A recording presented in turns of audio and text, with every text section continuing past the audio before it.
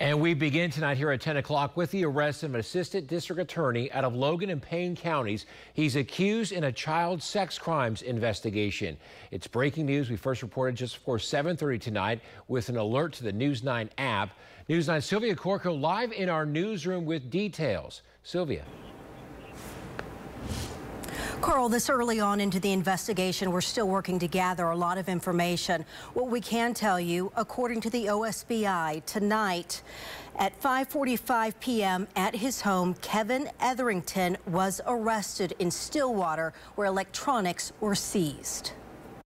In a press release from the OSBI, we learned the investigation started September 1st after OSBI was forwarded 14 cyber tips linked to a single suspect from the National Center for Missing and Exploited Children. Investigators were able to identify Kevin Etherington as a possible suspect. From there, agents armed with a search warrant went to Etherington's home Monday evening in Stillwater, and based on what they found, they arrested him.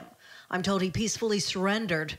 He was booked into Payne County Jail on one count of aggravated possession of child pornography and one count of violating the Oklahoma Computer Crimes Act. He currently serves as the first assistant district attorney for Payne and Logan counties and has been with the offices for eight years.